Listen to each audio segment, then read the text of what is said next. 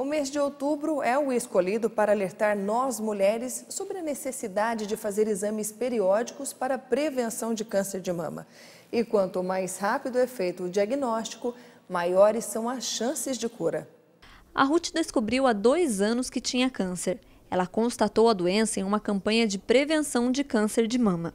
Bom, eu descobri o câncer por uma providência divina, porque eu não tinha passado por médico, não tinha, ninguém tinha me encaminhado, não tinha notado nada ao toque, não tinha dor, não tinha nada que justificasse.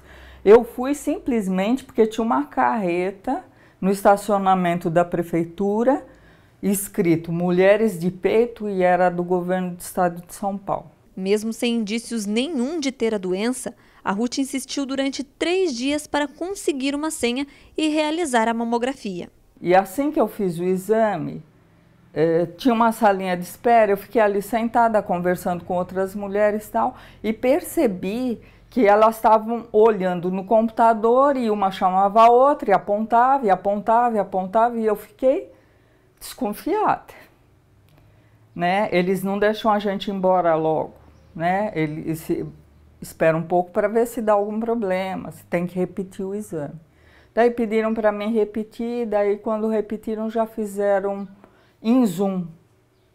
Então eu já saí de lá consciente de que alguma coisa estava errada. Assim que o resultado do exame ficou pronto, a Ruth foi chamada na Secretaria de Saúde de Pinda e recebeu os encaminhamentos para dar início aos tratamentos do câncer de mama. A princípio, eu passei num mastologista, doutor André Girardi, e ele já era cirurgião também, fez a primeira cirurgia. Essa cirurgia já era para ver se eh, analisar se era câncer mesmo, que tipo de câncer tal.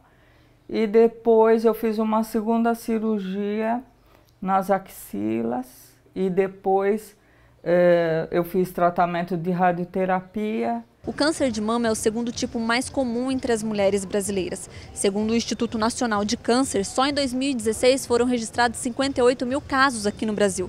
Por isso, ações de conscientização, como a campanha Outubro Rosa, são tão importantes. Outubro é no mundo inteiro o mês de combate ao câncer de mama que corresponde a 25% dos diagnósticos. Se o tratamento começar cedo, a cura é possível em mais de 90% dos casos. Em Pindamonhangaba, um container foi instalado no centro da cidade e está realizando ações de conscientização sobre esse tipo de câncer. Aqui no container a gente tem uma série de atendimentos acontecendo até o dia 28. Então, nós estamos com o pessoal da Secretaria de Esporte e os alunos da FUNVIC de Educação Física, nos ajudando a fazer o índice de massa corpórea, algumas orientações a respeito de saúde. Estamos com o doutor Henrico e a Libiane, que são profissionais que estão falando sobre o aleitamento materno, orientações eh, de técnicas de amamentação. A amamentação é uma das formas de prevenir o câncer de mama nas mulheres.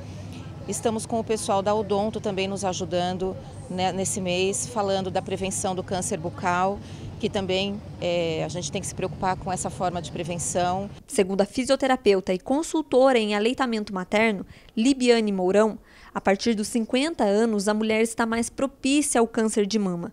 Por isso, é necessário fazer periodicamente a mamografia. Porém, essa doença pode ser desenvolvida em qualquer fase da vida e por isso é importante que a mulher esteja atenta a alguns sinais. Alteração na mama, nódulos, vermelhidão, o bico invertido, a saída de secreção, né? Tanto ela pode ser líquida, não que a gente aperte, ela vai sair naturalmente, sem você fazer esforço nenhum, aquele líquido vai estar drenando do bico. Pode ser transparente ou também pode vir com, com traços de sangue também, né?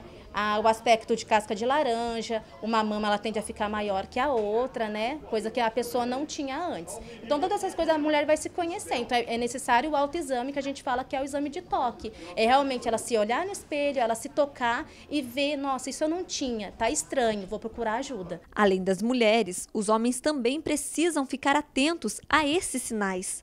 1% dos casos de câncer de mama são diagnosticados em homens. E quando acontece, por incrível que pareça, acaba sendo pior, porque como o homem acha que não é acometido por essa doença, acaba negligenciando e quando percebe o câncer já está num estágio avançado. Então é importante também que os homens façam o autoexame. Existem várias formas de combater essa doença, com atividades físicas, uma alimentação saudável e, de acordo com o pediatra Eurico Tutihashi, outra forma de prevenir o câncer de mama é a amamentação. O aleitamento materno é importante porque ele previne e faz a profilaxia do câncer de colo de útero e também do, do, do câncer de mama. Então são os dois processos importantes e quanto maior o tempo de aleitamento materno, menor o risco de contrair o câncer. A Ruth não se rendeu ao câncer e tem ajudado outras pessoas através das redes sociais a ficarem alertas. Para ela, tudo isso e o sucesso do tratamento só é possível porque ela tem recebido muito apoio da família. Olha, já quando meu marido foi buscar o exame e não entregaram, eu não sei o que falaram para ele, mas ele já falou para mim: eu tô com você. Eu tô com você para o que der e vier.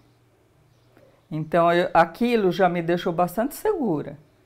E, e quando eu fui ao médico, já minha irmã, ela foi primordial assim no meu tratamento. Ela foi comigo e quando a gente viu ele carimbar, carimbar as solicitações de exame, a gente viu que ele colocou que o carimbo dele estava escrito Jesus é a cura.